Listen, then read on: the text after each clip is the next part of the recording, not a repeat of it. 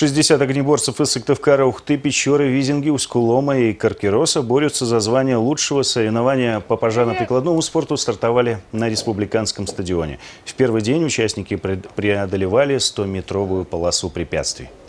Как правило, борьба вот между тремя командами. Это команда учебного центра, команда города Сывкар и, наверное, команда, возможно, или Ухты, или Пожгосервиса. Они так наиболее пока выглядят посильнее по традиции, по итогам прошлых лет. Завтра в программе соревнований самый зрелищный этап – подъем по штурмовой лестнице.